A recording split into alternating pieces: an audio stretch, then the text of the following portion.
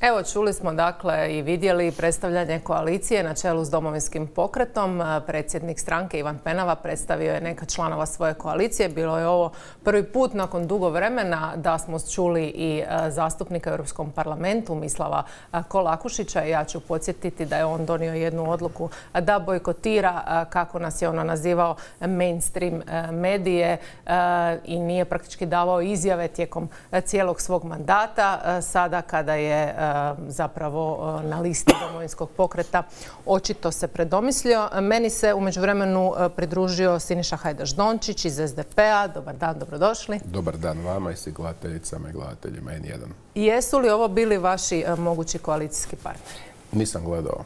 Pa dobro, znate ko je bio na ekranu? Vidio sam, dakle... Penava, Kolakušić, Hasanbegović. Ne mogu odgovarati na hipotetska pitanja. Cilj koalicije Rijeke pravde, Rijeke pravde dolaze pobijediti na izborima i sastaviti vladu sa programski bliskim političkim strankama. I tu moja priča počinje, moja priča završava. Dobro, ali je li to opcija? Ja razumijem, neću odgovarati na hipotetska pitanja. Međutim, Zoran Milanović jučer je također rekao da ne misle oni u svim svojim uh, izjavama baš onako čvrsto oko migranata, da tu ima i pametnih ljudi, uh, pogotovo ovih iz Vukovara, kako je rekao. ja od te ekipe par puta u zadnje vrijeme sam bio da se neko ne ovrijedi, od kažemo te ekipe, niš loše ne mislim. Dobro. E, par puta sam bio na sučeljavanju sa gospodinom Radićem. Mhm. Znači jedino mogu nešto od njih ono, razgovarati o njemu jer on djeluje ono smisleno i elokventno što se mhm. tog tiče. Znači, razgovarali smo isključivo o ekonomiji. S jednim dijelom stvari koje on propagira se ne slažem, uh pošto je onako ono pro-biznis orijentiran, što je ok, ali zapravo sa empirijom čovjek priča isto što pričam ja. Znači, koji su, koji su uzroci zapravo hrvatskog strukturnog zaostajanja.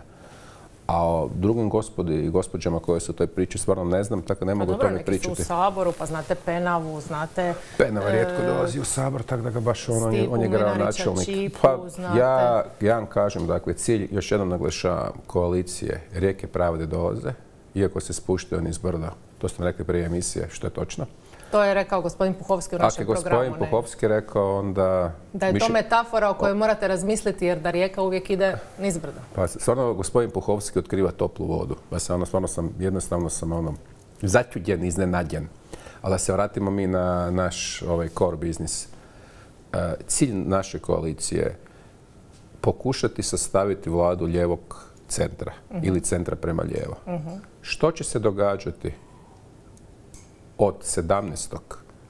pa do 1.5., 15.5. do koliko će to trajati, vidjet ćemo. Dakle, ja ću naglasiti da predsjednik Republike, dakle, nije član političke stranke, dakle, on je samo naš neki kandidat za premijera.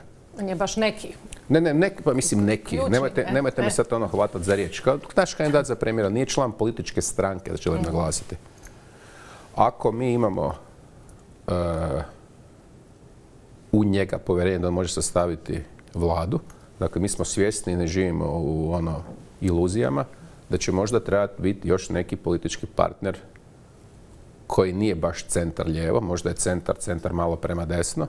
Znači, ali ako je on u tom trenutku mandatar, onda idu programi na stol. Dakle, taj sad o programima razgovara. Pa ako postoji nešto što je kompatibilno, možemo o tome razgovarati. Ali opet ja kažem, Ideologiju stavljamo po strani u tom trenutku i razgovaramo Što je za vas, e, ajmo sad pojmovnički, nemojte se ljutiti. Što je za vas ideologija, moje pitanje? Stvarno me to pitate. Ne, pitam, da, dajte mi recite. Pitate me što, je, za mene ideologija. Da, da, zanima me, ajde, odgovor. Da, ako smijem vas pitati, nemojte se ljutiti. ne, pa ne, nisam. Što je za vas ideologija? Dajte mi to objasnite.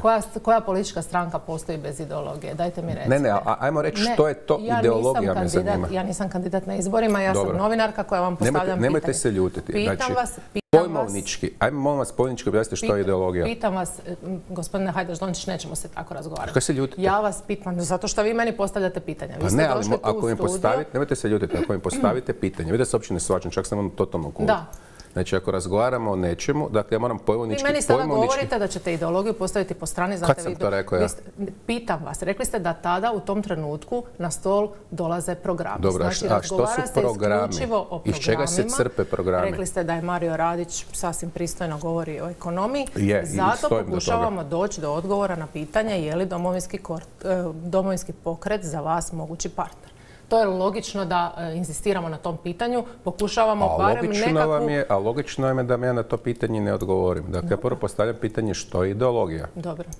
To je moje pitanje. No, dobro, vi postavljate pitanja ako Pa hoćete neću ja, nekome neću ja postavljati, neću ja postavljati uopće pitanje. Ja samo, pa ne, ja, vama ne, ja postavljam Ne. gledateljima pitanje. Aha, da, što je da ideologija? uključimo, da uključimo ovoga, Čekaj, zbog čega sam ja ovdje u emisiji da, taj- osim što s vama na razgovaram- Da odgovarate na moj program i da pošaljete Na vaš program? A koji je vaš program? Moja pitanja, A pitanja i da odgovarate e, Na šta? na pitanja koje vam ja postavljam. Ali moje pravo da vama postavim pod pitanje. Ma nije. Kak nije? Ne, nije. Ako vam nešto nije jasno... Pa nije mi jasno, ali- evo, pa pitam vas. ali Što je za da- vas da ideologija? ćete- Da ćete docirati i tako Pa ne se dociram. ponašati. Uopće ne do, ja pitam samo što je ideologija. Gospodine Hajdaš Dončić, hoćemo mi nastaviti dalje s ovim Pa to razgovorom? visi o vama. Da. To meni ne visi, to visi o vama. Ne, mislim, ne, mi uopće ne mora pričati više. Zašto ne Pa moramo svaki pričati pričali. Zato što ste vi predstavnik jedne političke stranke, došli Ali- ste u studio kako bismo razgovarali O tome što će se dogoditi I što sam ja vama odgovorio? izbora. Rekli ste da nećete odgovarati na hipotetska pitanja, ja sam rekla dobro. I okej, završili sad smo- i završili smo tu priču. Inzistiram dalje da mi kažete nešto vezano uz domovinski pokret. A ja, vam, nećete- a ja vam kažem da vam neću Ok, reći. Ok, u redu. Evo neću vam reći. Dobro, jeste gledali jučer uh, intervju Zorana E, Milanovića? nisam. Ne. Jeste vidjeli ove neke najvažnije Nisam. naglaske o kojima je govorio? Niste. Nisam. Nije vam to bilo bitno, Apsolutno ne, spavao sam važno? jučer. Pa danas, jutros, tijekom dana, jeste vi primate sam neke bio sam, puševe na Ne, ne, bio sam, jutro sam imao ovaj, trening prvo ujutro, nakon toga sam imao neki razgovor s građanima. Uopće nisam to pratio do sad. Mhm, Dobro. Hoću vam ja onda prepričati Može. ili manje više Ne, ovoga, ne, ne manje znam, više prepričajte mi, ne znam. znate o čemu je riječ? Ne, ne znam. Dobro. Em, neke od poruka koje je Zoran Milanović jučer poslao u tom svom intervjuu bila je i dosta jasna e, e, e, tvrdnja da će na neki način pokušati transformirati Ustavni sud. Je li to nešto e, iza čega SDP kao stranka stoji? Znači, rekao je da, Ustavni sud u ovakvom sastavu kakvom sad postoji, u pro- u programu SDP-a tog nema. praktički e, treba e, prestati e, postojati. To je opasan sud, sad vam citiram, to Mhm. su opasni ljudi, pa kako ćete to napraviti, zato vam treba dvotrećinska većina. Kaže, dobro je, postoje nekakva prijelazna rješenja, mogu se prenijeti ovlasti na neka druga tijela. Stav SDP-a. Ne, tog nema u našem programu. Znači, to nije nešto što vi uh, o Nisam- čemu nisam razmišljate, nisam s njim pročitao našem programu. razgovarate, Ne. uh, bi podržali? Evo, jel bi to podržali? Pa ne znam, ovisi o drugim koalicijskim partnerima. Nije u našem programu. Znači, moguće je da dođe na stol. Ne znam. Možete pitati Milanovića. U našem Dobro, da, programu pitali toga smo ga, nema. on je bio poprilično jasan. Ja to nisam pročitao u našem kažem. programu. Jeste vi pročitali u našem programu? Ne, Ni ja. to je prvi put on jučer Ne znam, stavio na onda nemam pojma. Da. Nisam razgovarao s njim o tome. Dobro. E, što se tiče toga kako će se ponašati nakon e, 17. travnja i kako će se odvijati cijeli taj proces, rekao je da će situacija biti poprilično jasna i e, da e, 76 potpisa će biti uvjet da bilo tko e, dobije njegovo povjerenje za sastavljanje vlade. Znači nikakva ona varijanta koja se eventualno može spominjati ako bude e, neriješenih stvari, a to je da eventualno relativni pobjednik dobije mogućnost pa da krene sastavljati vladu. Kako vam se to čini? Pa krivo vam je rekao onda. Mhm. Kako on može dati nekom mandat ako je on kandidat koalicije Rijeka pravde dolaze? Mhm. Znači prvo se mora konstituirati sabor. Dobro. Jel tak? Onda ako se konstituira sabor i onda ako postoji većina SDP-a koalicijskih partnera, nakon toga, dakle, on postaje mandatar. Znači, predsjednik države je neko drugi.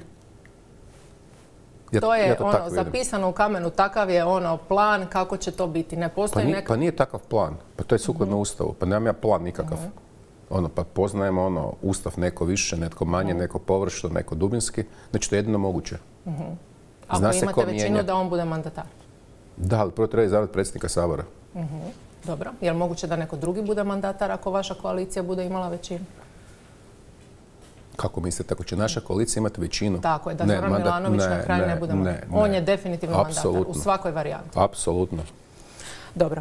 E, što se tiče programa koji je jučer e, iznesen, e, Zoran Milanović počeo je govoriti i o ovom dijelu standarda ljudi, kako se žive, kakav je plan sa mirovinama, kakav je plan sa plaćama, pa da vas pitam vezano uz neke stvari koje je rekao. Rekao je da treba jače udariti, opet citiram, na strane trgovačke lance. Iz, našeg, iz našeg programa. Uh jer znači to je u programu SDP-a, ekstra profit. Usuglašeno, dogovoreno, ekstra profit na strane trgovačke lance. To, to, se, to se zove marža, profitna marža. Dakle, vidljivo je koja je profitna marža u Hrvatskoj, koliko je mhm. profitna marža u Italiji, Austriji, istih ili sličnih trgovačkih lanaca mhm. i u principu tragična stvar je da, nažalost, u posttranzicijskim zemljama strani trgovački lanci, dakle, zapravo deru građane tih zemalja. Znači, to je činjenica. Znači, to nije borba protiv, e, nemam pojma, normalnog načina poduzetništva. uh Ovo je zapravo borba protiv zlog kapitalizma. Zašto to aktualna vlada ne radi? Ne znam, možda imaju dil neki. Uh-huh. S trgovačkim lancima, stvarno ne znam.